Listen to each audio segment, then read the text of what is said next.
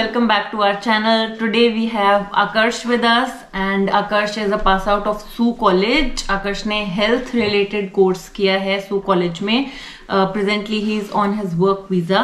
So we'll ask him about his journey. काफ़ी सारे questions आते हैं health courses में कौन सा course करना चाहिए उसका scope क्या है आगे कैसी jobs मिलेंगी PR options क्या हैं तो उस सबसे related let's talk to Akarsh. Hello everyone my name is Akarsh Patel मैं कनाडा में 2020 में जनवरी में आया था। और मैंने सो कॉलेज में हेल्थ केयर एडमिश हेल्थ केयर एडमिनिस्ट्रेशन किया है। और उसके बाद सेकेंड कोर्स मैंने किया था हेल्थ इन्फॉर्मेटिक्स सो मैं आपको पूरा डिस्क्रिप्शन बताने वाला हूँ कि हेल्थ केयर एडमिनिस्ट्रेशन कोर्स कौन ले सकता है और उसके एडवांटेजेस क्या है।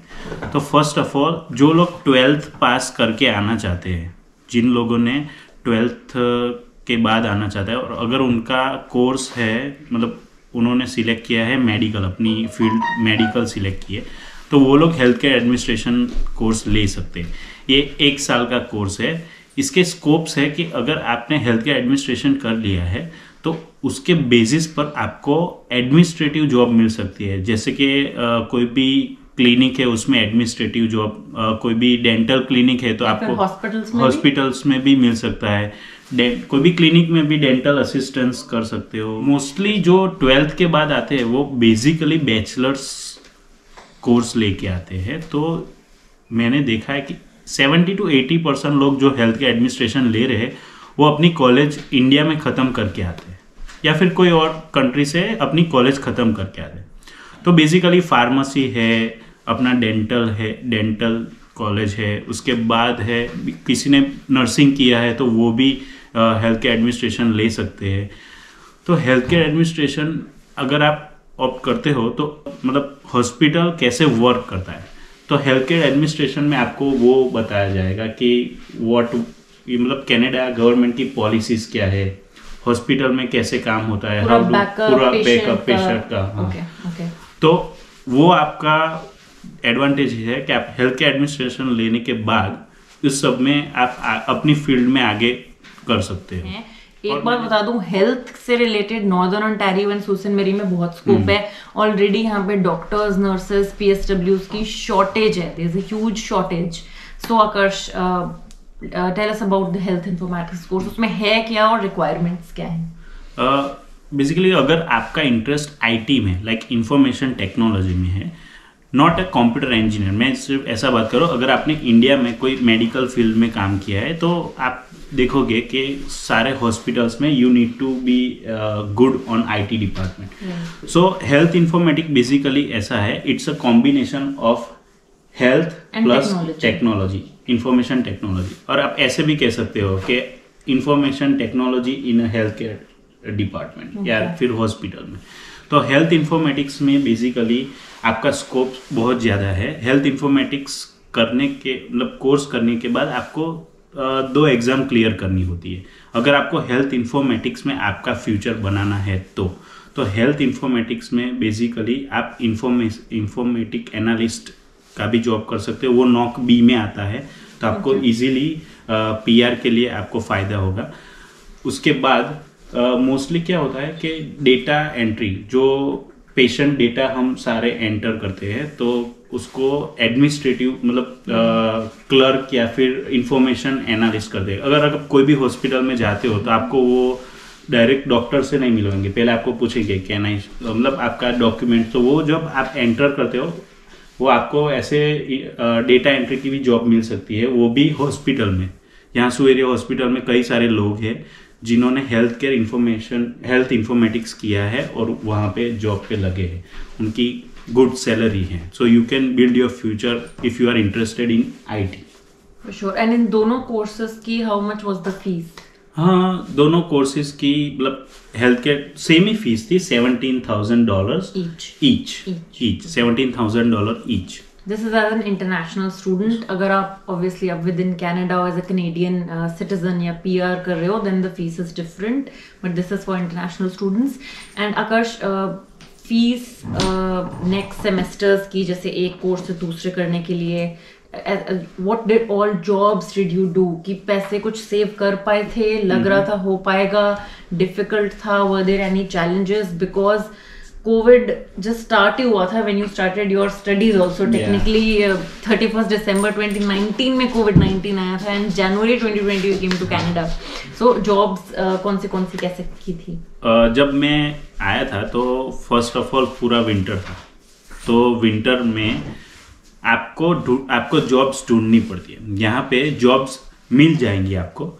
और मैंने फ़र्स्ट जॉब मेरी थी वो सर्कल के में की थी as a customer service representative circle के सर्कल के एज ए कन्वीनियंस स्टोर है और एक गैस स्टेशन है.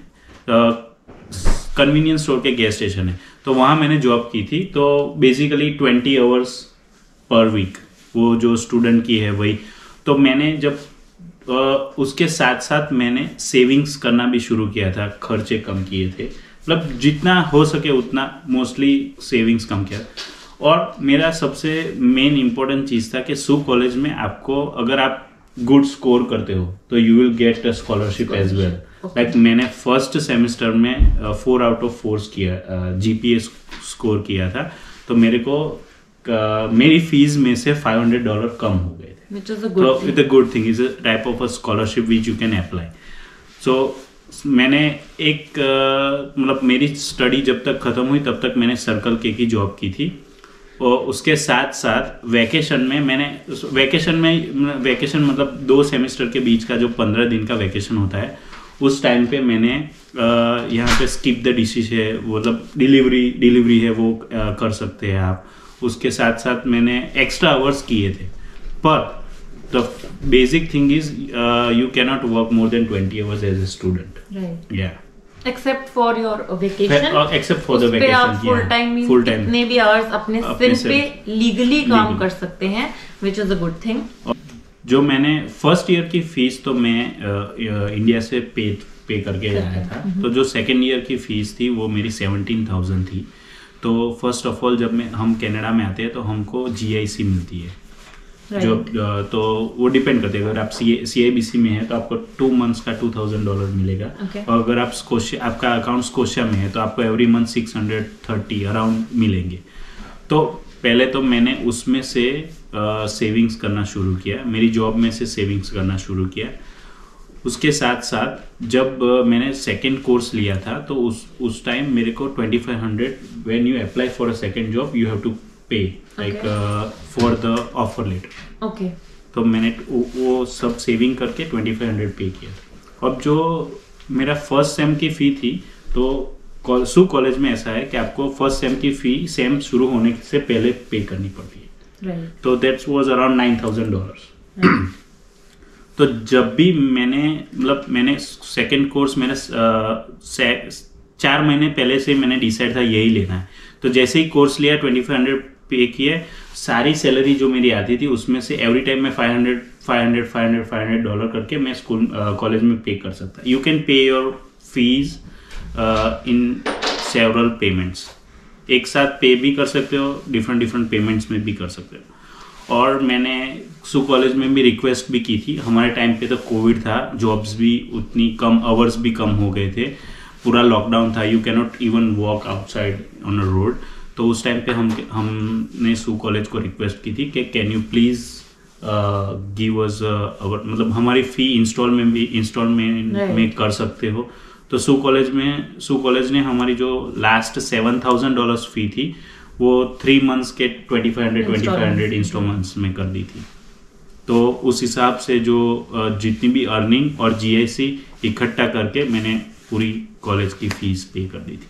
तो बेसिकली खुद से सेविंग्स करके you can afford your fees ये बहुत ज़्यादा क्वेश्चन आता है काफ़ी स्टूडेंट्स को लगता है हम नहीं कर सकते। टोटली डिपेंड्स कि आप खर्चा कितना कर रहे हो लाइफ hmm, स्टाइल क्या है। अगर आपको सिंगल बेडरूम सिंगल स्पेस में रहना है आते ही न्यू फ़ोन लेना है न्यू गाड़ी लेनी है तो आपके खर्चे और इंस्टॉलमेंट्स बढ़ेंगी।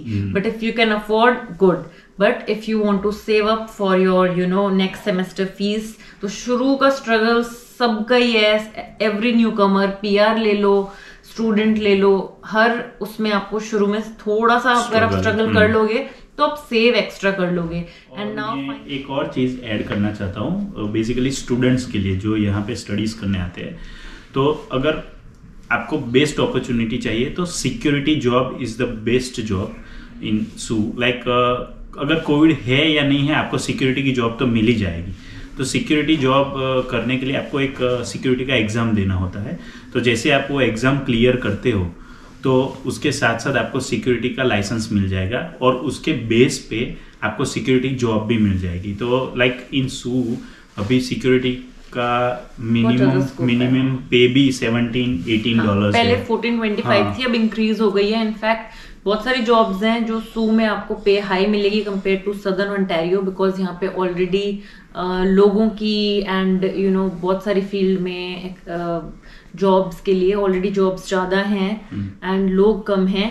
प्लस अगर आपको डिटेल जाना है कि how to get your security license I will put the link over here you can get a twenty dollar discount if you do through Ontario security hub using our link and as I said earlier each dollar counts जब आप एक दूसरी country में होते हो because अगर आप हिसाब लगाओगे अपनी होम कंट्री की करेंसी का तो वो फ्लक्चुएट होकर ऊपर नीचे होता है। तो we as newcomers as immigrants know कि एक एक डॉलर की क्या इंपॉर्टेंस है। कभी वो फिफ्टी सिक्स रुपीज़ है कभी वो फिफ्टी एट रुपीज़ है कभी वो सिक्सटी रुपीज़ है। तो उस चीज़ से आप अगर कन्वर्ट करोगे तो इट वेरीज अ लॉट यहाँ पे अगर रह रहे हो dollar is a dollar of course उतना कुछ hmm. फ़र्क नहीं पड़ता है. But for new immigrant each dollar counts so try to save as much as you can in your initial years to have a wonderful successful life in the future and now finally his studies are over and he is on a work permit now let's ask him कि work permit कब apply किया कब मिला and अभी present job क्या है? So uh, मैंने one year का कोर्स किया था उसके बाद दूसरे ईयर का कोर्स किया था तो मैंने गैप नहीं ली थी। वन प्लस वन ईयर का कोर्स था। और जैसे मेरा कोर्स खत्म हुआ अप्रैल थर्टी को और उसके पंद्रह दिन के बाद कॉलेज में से हमको कंप्लीशन लेटर आया। तो जैसे हमको कंप्लीशन लेटर आया तो मई के एंड में मैंने वर्क परमिट अप्लाई की थी। मई ट्वेंटी ट्वेंटी वन में। तो मेरे को मेरी वर्क अभी कनाडा में ऐसा है कि अगर आप वर्क परमिट अप्लाई करते हो तो उसके तुरंत दूसरे दिन ही गवर्नमेंट आपको टेम्पररी थ्री मंथ्स का वर्क परमिट देगी okay. कि जब तक वो आपके एप्लीकेशन का डिसीज़न नहीं ले सकते okay. उस टाइम पे आप काम लीगली फोर्टी आवर्स काम कर सकते हो अगर मोस्टली स्टूडेंट्स का क्वेश्चन ऐसा हो, ऐसा होता है कि अगर आप वर्क परमिट अप्लाई करते हो और आपकी वर्क परमिट आती है उस टाइम के दौरान हम कितने आवर्स काम कर सकते हैं ये क्वेश्चन होता है तो मोस्टली अभी कनाडा गवर्नमेंट ने ऐसा कर दिया कि whenever you apply for a work permit उसके तुरंत एक या दो दिन के बाद आपको टेम्पररी थ्री मंथ्स का वर्क परमिट गवर्नमेंट दे देगी। तो उसी बेस पे आप legally forty hours per week काम कर सकते हो। और मेरी वर्क परमिट मैंने वन प्लस वन किया था तो मेरी वर्क परमिट तीन साल की आई थी। Okay. और वर्क परमिट आपको मिलने के बाद you can work forty hours legally और सू में कई सारी फील्ड्स है, कई सारी जॉब्स है। अगर आप बिज़नेस बिज़नेस बैकग्राउंड से हो तो भी आपको प्रोजेक्ट मैनेजमेंट में या फिर सप्लाई चेन में भी जॉब मिल जाएगी। एज ए अल्गोमा इंडस्ट्रीज़ भी इंडस्ट्री भी है हमारे सू में तो वहाँ कई सारे इंजीनियरिंग जॉब्स अवेलेबल है। सू एरिया हॉस्पिटल करके हमारा एक मेडिकल बड़ा डिपार्टमेंट उसमें मेडिकल फ़ील्ड भी जॉब मिल जाएगी। और मोस्टली सेंट मेरी में लॉन्ग टर्म स्केयर्स ज़्यादा है। तो जिन लोगों जिन लोगों का बैकग्राउंड मेडिकल फ़ील्ड में है या फिर उन्होंने नर्सिंग किया है या फिर पर्सनल या पर्सनल सपोर्ट वर्कर तो वो भी इजीली जॉब कर सकते हैं। वहाँ पे यहाँ पे नर्सिंग नॉर्दर्न ऑन्टारियो में नर्सिंग की डिमांड मतलब मेडिकल फ़ील्ड की डिमांड बहुत ज़्यादा है।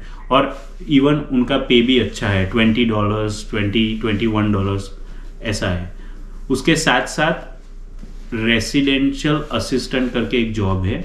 वो आप उसमें ऐसा होता है कि अगर जो भी लोग हैं लॉन्ग टर्म केयर्स में जो आ, हमारे बूढ़े लोग हैं उनको हमको असिस्ट करना है। मतलब उनको व्हील चेयर में घुमाना है उनको असिस्ट करना है। ये भी जॉब कई लोगों के लिए अवेलेबल है।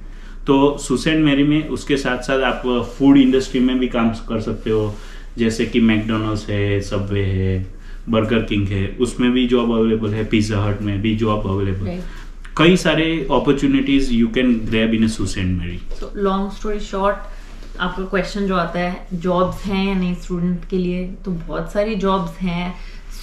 For your student life and अगर आप इन पर्टिकुलर फ़ील्ड से हो जो भी आकर्ष ने बताई हम्म। तो आपको आगे भी अपने पीआर के लिए भी या फ्यूचर में करियर के लिए भी उन फील्ड्स में जॉब मिल जाएगी। Now what about your present job Akarsh where are you working in your own field और you have change your field नहीं I am working in my own field मैंने हेल्थ केयर एडमिनिस्ट्रेशन किया था। उसके base पर मेरे को hospital में as a door screening job मिल गई है। तो you can say is a type of administrative job administrative job या so first of all like door screening में आई नीड टू आस्क मतलब जो भी पेशेंट या विजिटर आता है उनको पूछना है कि आपका vaccination certificate I need to just screen them उसके साथ साथ हमारी और भी ड्यूटीज़ है कि we need to deliver medicine जो भी मेडिसिन आउट ऑफ़ इंस्टीट्यूशन से आती है तो हमको डिलीवर करना पड़ता है। उसके साथ साथ हमको पेशेंट को असिस्ट करना पड़ता है क्योंकि सूर्य हॉस्पिटल में कई लोग डायलिसिस के लिए maximum number of people come for the dialysis and cancer department तो they are unable to walk तो हम उनको असिस्ट करके ड्रॉप कर करके आते हैं। तो ये सारी मेरी जॉब की रिस्पॉन्सिबिलिटीज है। सू area hospital is the largest hospital in Sue Saint मेरी and one of the most reputed ones in northern Ontario as well and congratulation on your job at Sue area hospital and wishing you all the best for your future और one more thing जैसे आप as a student आप Canada में आते हो तो first thing you need to get is आपको कोई भी कैनेडियन आईडी ले लेना है। तो फ़र्स्ट माय सजेशन इज़ कि आप कनाडा में आते हो तो first of all driving licence का एग्ज़ाम दे दो। अगर आप ऑन्टारियो में आते हो तो उसका नाम है जीवन टेस्ट और आप जीवन देने के बाद अगर आप जी टू देना चाहते हो तो मैं कई लोगों को हेल्प करता हूँ, उनको टिप्स देता हूँ how you can get a G two driving licence it's not important that आप जी टू ड्राइविंग आते ही कार ले लो। लेकिन अगर आपके पास जी टू ड्राइविंग लाइसेंस है तो उसके बेस पर भी आपको कई सारे जॉब अभी भी सू में मिल सकती है। अमेजोन ड्राइवर का भी मिलता है। वो लोग अमेजोन डिलीवरी करना है क्योंकि वो बहुत हाँ, जॉब्स में वो लोग अगर आपके पास गाड़ी नहीं है गाड़ी प्रोवाइड हो जाएगी। प्रोवाइडेड आपके पास G two and G licence हो। And Akarsh gives amazing tips G two and G के लिए। मैं डिस्क्रिप्शन बॉक्स में आकर्ष का इंस्टाग्राम डाल दूँगी। You can contact him directly and he will give you all the tips and he will assist you you know कैसे आप G to clear कर सकते हैं जी के लिए कैसे प्रिपेयर कर सकते हैं। Stay tuned and thank you so much Akarsh bye bye.